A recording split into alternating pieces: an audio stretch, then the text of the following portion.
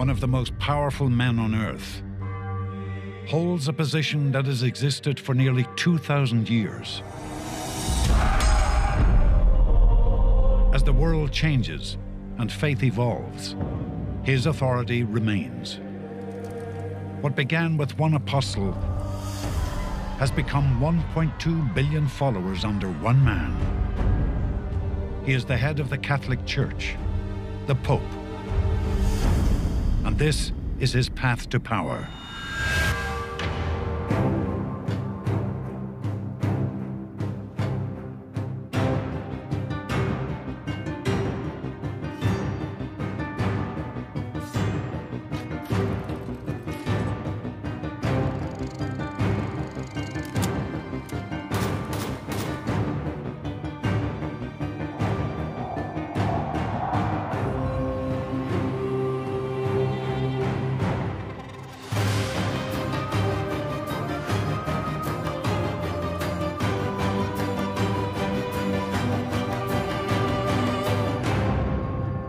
In this episode, never before seen orders from Pope Leo X and Henry VIII sever Protestants from the Catholic Church.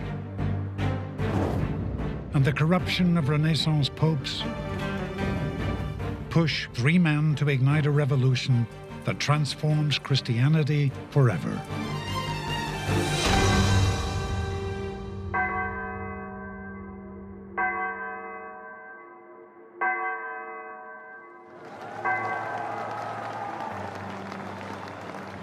Doy gracias a Dios por esta conmemoración conjunta de los 500 años de la Reforma que estamos viviendo con espíritu renovado, porque reconocemos que entre nosotros es mucho más lo que nos une que lo que nos separa. In 2016, Pope Francis kicks off the 500 year anniversary of the Reformation. A spiritual revolution that splinters the once universal Catholic Church. The Reformation, it's incredibly pivotal in the development of Christianity. The Reformation could have been one of the big tragedies of Christianity, but rather you get the emergence of a much more individualized or personal faith. The beginnings of the Reformation are all about this pushback against what is seen as excess in Rome.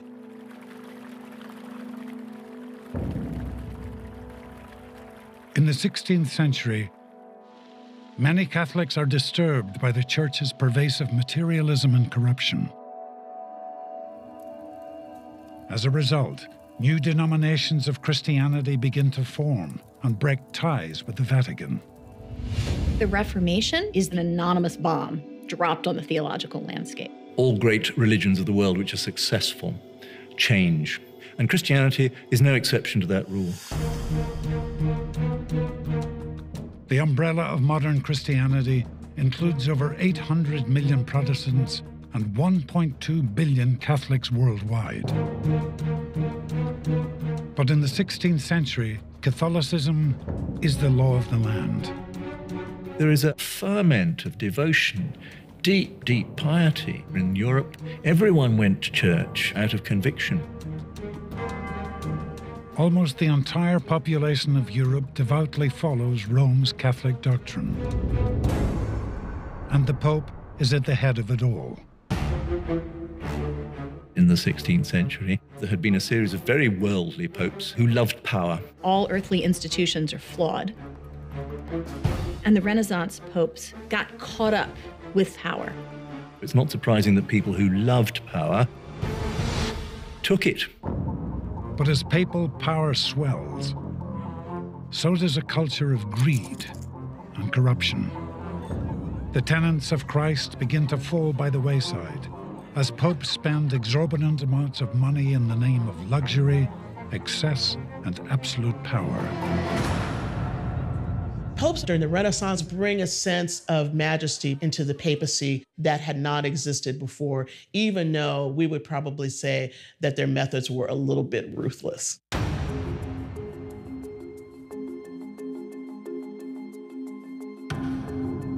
And in 1513, Pope Leo X takes the overindulgence to new heights.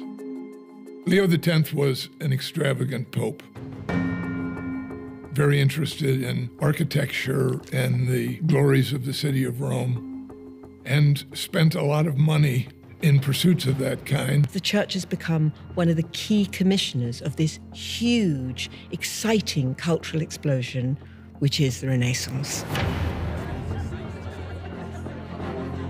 Pope Leo X throws lavish parties and hires Raphael to paint elaborate frescoes throughout the Vatican.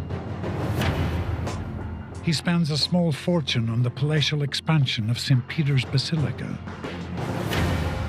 During the Renaissance, you had lots of art, lots of patronage, but in another way, it's dire for the church because they were actually breaking the church that art, that sculptor, all of that fabulous beauty has to be paid for. Pope Leo X pays for his opulent lifestyle by selling positions within his administration. He says these offices will cost this much. If you want this one, you'll have to pay this much. All kinds of horrible things that are happening in the church. They're selling their bishoprics, they're putting their illegitimate kids into offices. Basically, embezzlement. This is the time the Catholic Church is really pretty profoundly corrupt. But the payoffs are still not enough to keep up with Leo's spending. It's put a strain on local churches and parishes. People are giving up lots of money during this time period, and they're feeling pressed. Only two years into Leo X's papacy, the Vatican is on the verge of bankruptcy. In order to save the church from financial ruin, he charges his clergy with selling indulgences throughout all of Europe. Indulgence, the forgiveness of sins in return for cash payments. Indulgences started way back in the Crusades, and the idea was that you've got these soldiers fighting for Christ, and they're likely to be killed at any moment. And so, what the church did was to give them a get out of purgatory free card. So, the indulgence was a way of rewarding people who were doing something good for God. But the trouble was that this system grew, and very soon people were being offered indulgences for sale.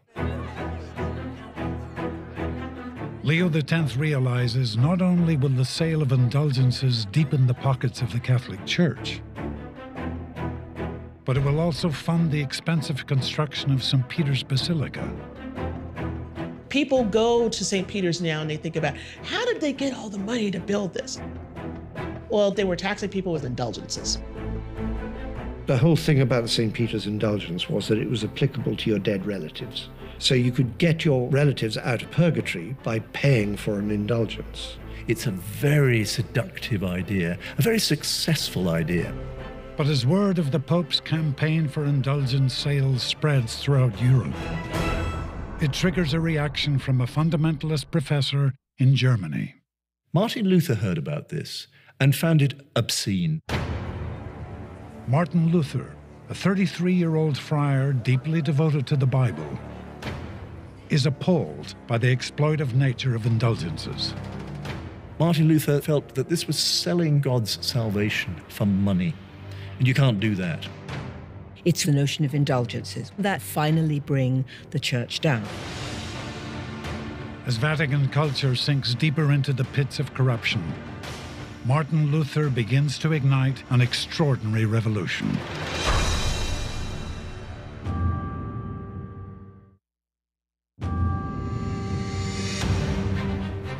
In 1517, despite the deep piety of European Catholics, materialism and corruption run rampant inside the Vatican walls. But in Germany, one man decides that it's time to take a stand against the sins of the Pope. Martin Luther was a member of an order of friars called the Order of Hermits of St. Augustine. Luther was a professor of scripture. He'd become a monk out of fear. He'd made a vow to St. Anne during a thunderstorm. Early in his career, Martin Luther was sent off to Rome by his religious order, and he was shocked by Rome. A deeply religious scholar, Martin Luther is horrified by the hedonism he sees funded by indulgences. He is outraged by the fact that the Pope is exploiting his followers' fear of damnation for financial gain.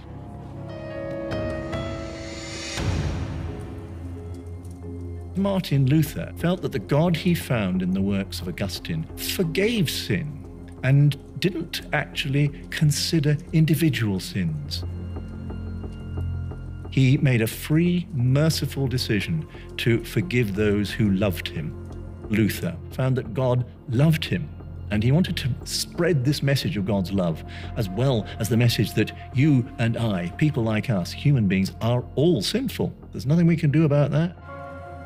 For Luther, the sale of indulgences was exactly the antithesis of this sense of Christianity as a liberating mode. Salvation not as free gift, but as something you have to stump up money for. Martin Luther thought it was all a sham. He decided to hold a seminar about indulgences and he would issue 95 things to be discussed in this seminar. The seminar never happened. But the 95 theses, the 95 ideas to be discussed, were there. Martin Luther sends his 95 theses to the Archbishop of Mainz, Germany, who then sends it to the Pope. In his theses, Luther questions the indulgences and whether the Pope should have power over who goes to heaven or hell. The theses are a series of technical questions about whether or not, for example, the Pope or any priest has jurisdiction in the afterlife. There were a lot of Catholic theologians who thought the afterlife was in God's world and papal authority was for this world. It's often said that he nailed the document with these 95 theses to the castle church door in Wittenberg. This was not the first time that these ideas had been put out. Far from it. But the difference between 1517 and the 14th century is the printing press. The 95 theses were printed and they were widely distributed. Martin Luther had become a celebrity in all Europe. He was producing books and finding a real talent. He's one of the first great bestseller writers in print. Luther was a master of popular media.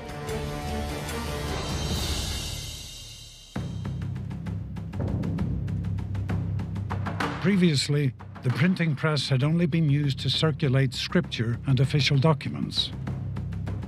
Martin Luther is the first to use it to spread a subversive message. Martin Luther's revolution was fueled by the printing press, and he used it with genius. But that brought a real problem. Now he was the symbol of all sorts of different discontents, and he'd aroused passions which he couldn't control all through Europe, and now Europe was split. Martin Luther's statements against the sale of indulgences put him in direct opposition to Pope Leo X who was frantically selling them to cover his debts. Church leaders were now saying to Luther, You must obey the Pope, and to obey, you must keep quiet. And Luther could not keep quiet. If you were the enemy of the church, that would mean you could be called a heretic. So Martin Luther was putting himself in very dangerous territory now. deep within the Vatican secret archive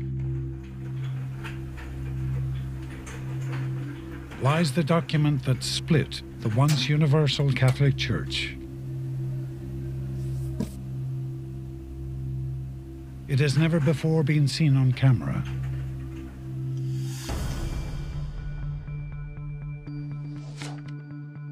January the 3rd, 1521, Pope Leo X issues a papal order excommunicating the German preacher. All Germany was in uproar. And this was very bad news for the overall ruler of Germany, the Holy Roman Emperor Charles V. Acutely aware of the fervor Luther has ignited in Germany, Charles V worries his excommunication might start a revolt. And what he did was to summon Martin Luther to a meeting of the parliament of the empire. It's called the Diet. And it was meeting that year in the city of Worms. What the emperor was going to do was to order him to be obedient to the church. So imagine this great set piece all the great figures of the Holy Roman Empire, their bishops, princes, a vast crowd in attendance. And there the emperor told Luther to be obedient to the church. Luther said he could not be obedient. He must be obedient to the Bible, to Scripture. Rather than being willing to investigate these ideas, the Catholic Church took a turn in the other direction and erected walls. Martin Luther is officially marked as being outside of the tradition of the Catholic Church. It was seen as an act of disloyalty. To be Protestant meant that you weren't loyal to the Pope. After Luther's defiance of King Charles and the Pope at the Diet of Worms, a hard line is drawn among Christians the foundation of the Reformation is that the church is the invisible gathering of all of those who confess Christ in every time and in every place. And because this is not a temporal group of people, there's no way there can be a temporal head of it. Those aligned with Martin Luther protest the Pope's divine claim to leading the Catholic Church and become known as Protestants. They build Lutheran churches throughout Germany and Scandinavia, focusing their teachings on Scripture instead of loyalty to the Pope. In the past, and people don't want to receive Catholicism, people could be burned for heresy, you could be tortured, you could be in prison. Martin Luther's not the first person that challenged the church, but he's probably the first person to live to tell about it. Martin Luther goes into hiding and the Protestant Reformation continues to grow.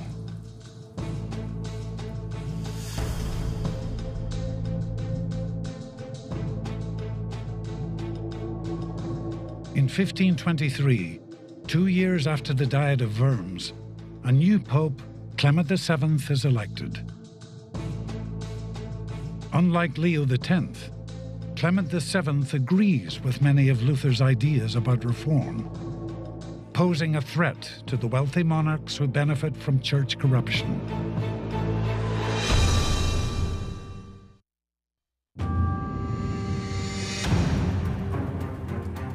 After Martin Luther denounces the Pope in 1521, European Christians are split in two. Lutherans develop their own church, founded on the belief that salvation is achieved through faith alone. While Catholics continue to practice obedience to the Vatican.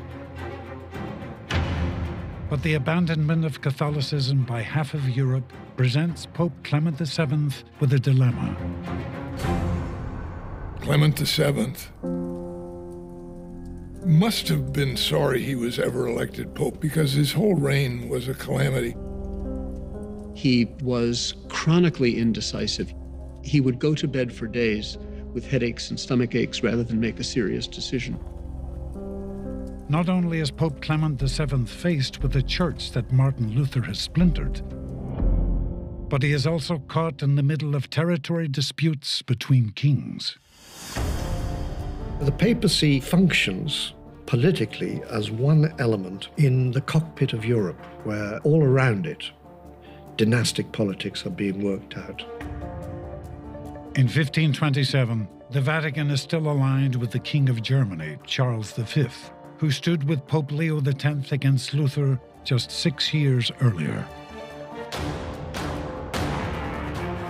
Charles V was a very unusual person. He was the King of Germany. He ruled the north of Italy. He was the Holy Roman Emperor, but he had also inherited the rule of Spain. So he had more power than at this point any temporal monarch had ever had at any point. He was a very alarming monarch to many people. He wants Italy at the same time that the French want Italy. In an attempt to balance the power in Europe, Pope Clement VII abandons his alliance with Charles and makes a secret treaty with France called the League of Cognac. As if the Pope hadn't got enough problems by the late 1520s, he found himself at war with the greatest Catholic in Europe, Charles V, the very man who'd challenged Luther. There is one ruler, the King of France, who's behind the Pope, and then the King of Germany is against the Pope. So there's this war between the Church and Germany, but it's really between the King of Germany and the King of France. Now, Charles V invaded Italy and invaded Rome. Rome was sacked by the imperial troops, many of whom were Lutherans and hated the Pope. And so, for weeks on end, Rome faced terror. It's the most extraordinary irony that it was a Catholic who did as much harm to the Pope as a Protestant. In May of 1527, the German army storms the churches, monasteries, and palaces in Rome.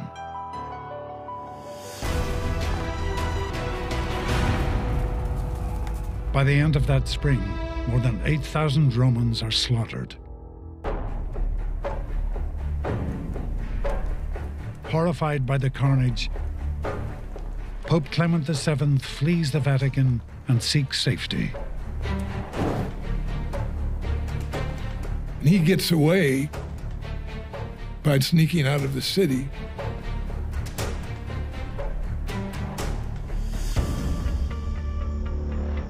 The Pope hides out in a castle outside of Rome for five weeks, but eventually, the German army surrounds his refuge.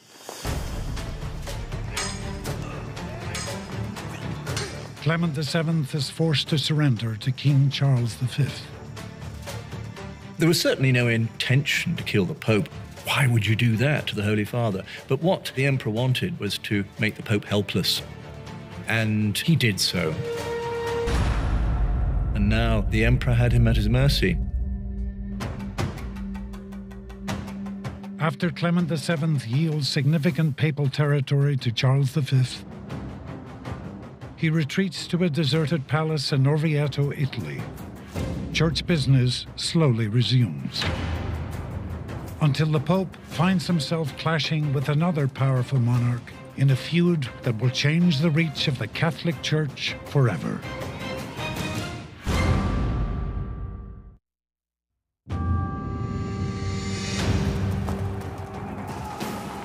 After King Charles of Germany attacks Rome in 1527, the city is in ruins.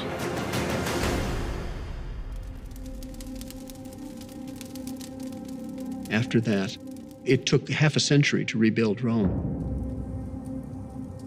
Though Rome is destroyed and half of Europe has abandoned Catholicism for Lutheranism, the Pope is determined to strengthen what's left of the Catholic Empire.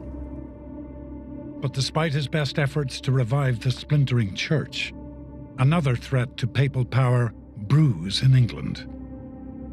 Henry VIII was a fascinating, extremely complicated individual. Henry VIII had the biggest ego in the Kingdom of England. He was also a clever man, talented, good looking when he was young. And like many teenagers, he never quite coped with growing up. Henry VIII has ruled England since he was 18 years old. And as a young, charismatic monarch, he is used to getting what he wants. Henry was married to the daughter of Ferdinand and Isabella of Spain. The wife was a Spanish princess. Henry VIII's marriage to Catherine of Aragon is the foundation of many important political alliances. But despite the advantages attached to their union, Henry finds his marriage to Catherine problematic. They'd been together for 20 years, and she had managed to produce one living daughter. He was very sensitive to the fact that he hadn't got a son to take over when he died. And that was fatal in the politics of a kingdom at the time. Not only does Henry want a son that his wife cannot give him, but he also has a mistress that he'd like to marry. If you want to marry somebody else, there is no divorce. You need the Pope to annul your marriage. He wants the Pope to say that he can marry Anne Boleyn. He needs a declaration that his marriage to Catherine was never valid.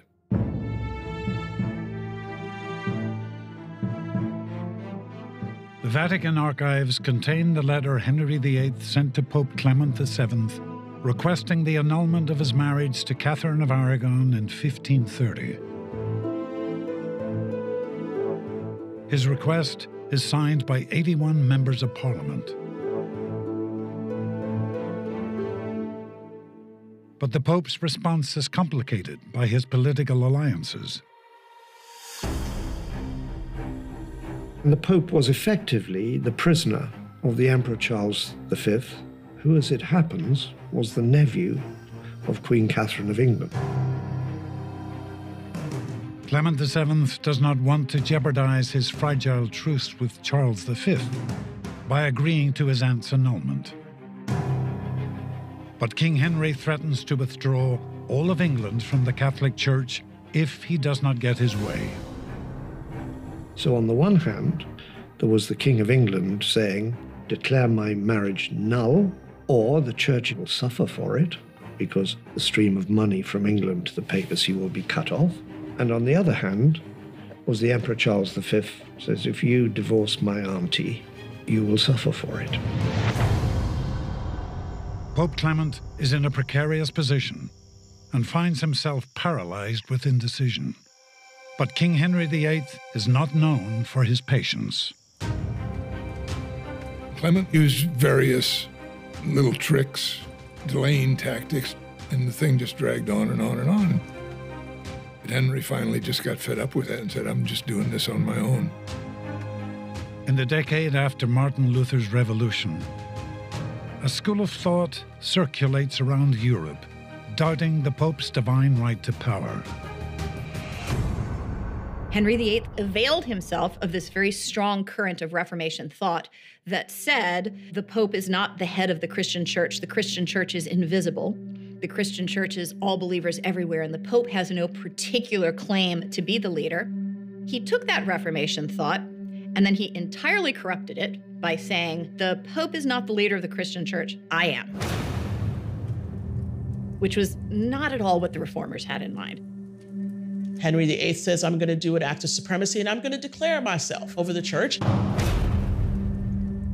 Henry says, I'm not a king, I'm an emperor, and emperors are accountable to nobody. In 1534, four years after Henry VIII's initial request for an annulment, he denounces the papacy, removing himself and his country from the jurisdiction of the Catholic Church. He proclaims himself the leader of a new church, the Church of England. Henry says, I decide that I'm not married to Catherine. He divorces his nice Catholic wife, he marries Anne Boleyn, and now he's the head of a church. So he can take down Catholic priests, he can put down people who don't follow his particular faith, the Anglican faith, and as a result, it ends up destroying the Catholic Church for a time in England. He tore the kingdom apart with his break from Rome. We have wars of religion within England. We have wars of religion between France and England, with France being more loyal to the Pope, England more loyal to, to Henry. The entire um, religious landscape becomes weaponized. And then Henry VIII begins to take the church's wealth. As head of the Church of England, Henry VIII seizes property that belongs to the Catholic Church. He begins to strip all the altars in England. He takes that wealth for himself. He dissolves the monasteries and convents, stripping over 12,000 monks, nuns, and priests of their homes and assets. Henry's very puzzling in terms of religion. Henry VIII had the alliances. He had the wealth to be able to disregard the Pope. To be able to say, no, I don't care if you put my entire country under interdict, meaning that everybody's excommunicated. This makes no difference to me. Essentially, he stripped away the authority of the papacy and originally, at least, kept almost everything else, simply establishing a new church with a different head. And that authority was what he was most interested in. Who is at the head of it? In the face of spiritual revolutionaries and power hungry monarchs, the once almighty Pope sees the power of the office dwindle for the first time in nearly 800 years. By the middle of the 16th century, it looks as if the reign of the Roman Catholic Church is finally coming to an end.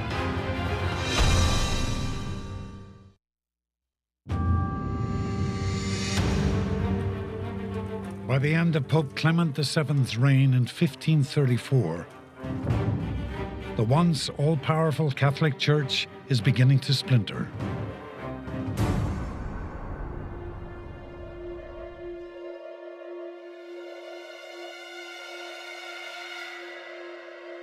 The new Pope, Paul III, inherits a papacy swelling with uncertainties. Just at the moment when the church seemed in real trouble, a particular champion came along. He called himself Ignatius. Ignatius Loyola. They were a group of French, Spanish, and Portuguese students at the University of Paris. They came under the influence of Ignatius. At the University of Paris, Ignatius and his followers initiate a new way of praying based on meditation.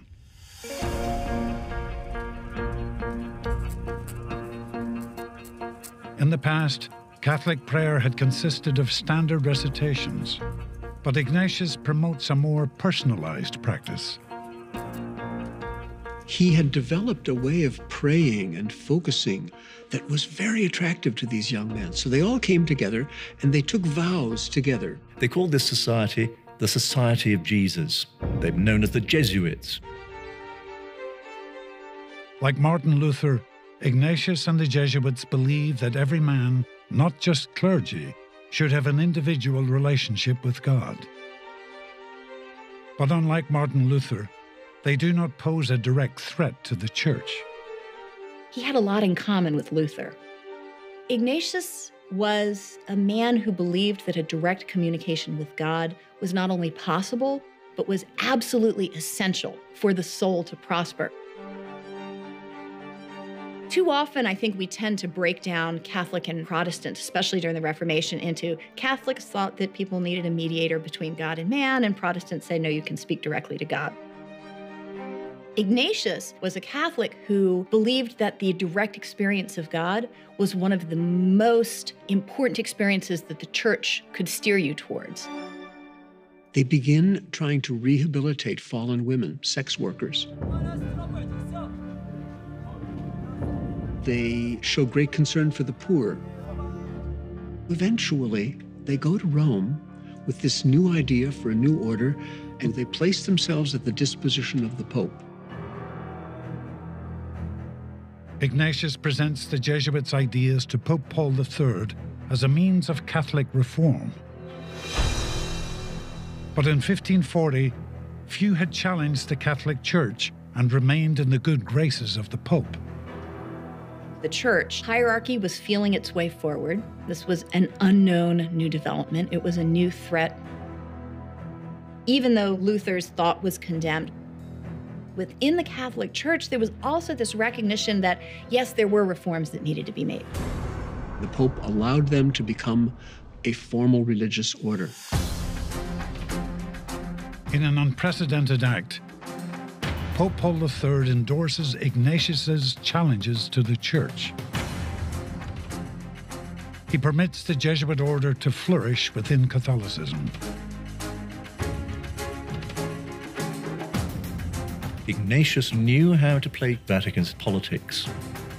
The society has always carefully cherished its independence and done so and protected that independence by talking about its loyalty to the Pope. They become the largest religious order in the church. The Jesuits make a name for themselves by shifting their focus to universal education. The Jesuits focus on education for all classes of society. They provided a first class education, and people rushed to get that education. That's what spread the Catholic faith back into areas where Protestantism had made great strides. Ignatius had 16 more years to live. And during that period, the Jesuits mushroomed. They took in more and more and more people. They began to spread out through the New World and also into Japan and India and other places.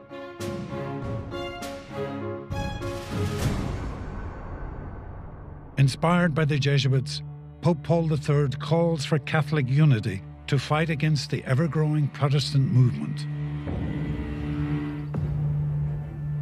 There's tremendous turmoil that is going on in the church.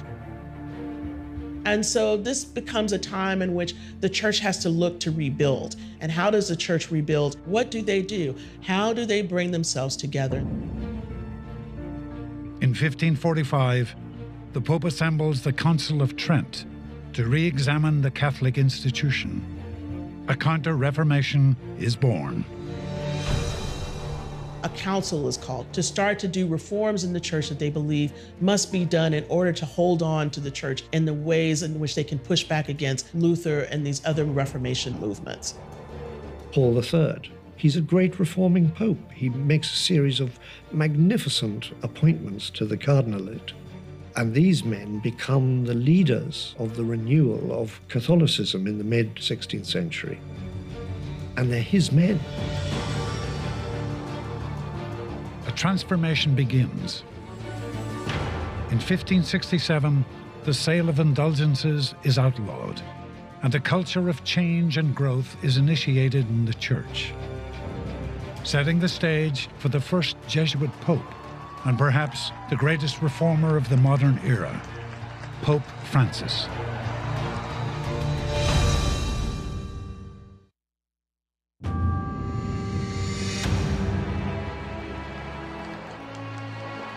Nearly 600 years after the Reformation ignites in Europe, Pope Francis becomes the first Jesuit pope,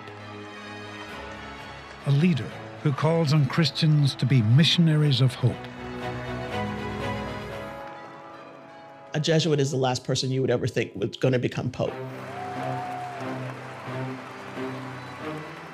Right from the start, the Society of Jesus set its face against any member of the society becoming pope.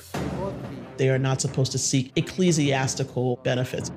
They should not want to be bishops or cardinals or things like that. Why now, for the very first time in the church's history, a Jesuit pope? The unprecedented election of a Jesuit pope signifies a real shift in the nature of the 2,000 year old office. Pope Francis positions himself not just the leader of the Catholic Church and the papacy, but as a moral leader.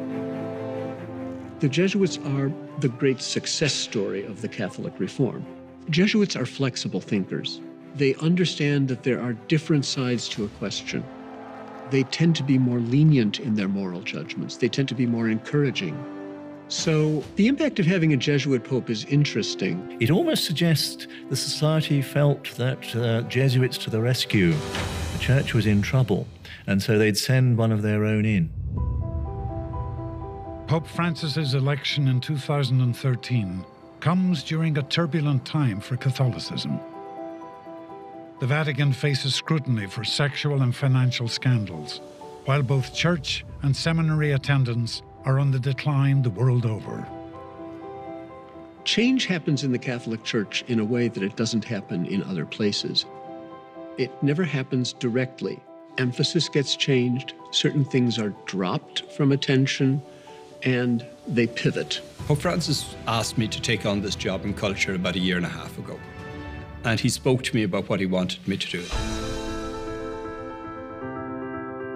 Pope Francis said, Look, there are things changing in our world. There are things emerging that have potential to shape our future very differently. He said, I want you to get out there. I want you to meet the people who are forging the future of the world. The changes initiated during the Reformation have become part of the fabric of modern Christianity. More than 900 million Protestants around the world can trace their spiritual roots back to the revolution started in the 1500s. The shattering of the unity of Christendom was a tragedy. But it also, of course, created a new kind of urgency for Catholic reform. After 2,000 years of threats, transformations, and revolutionaries, the Pope still maintains a following of 1.2 billion people around the world. The capacity of the Catholic Church to accept change has been central to its ability to remain relevant.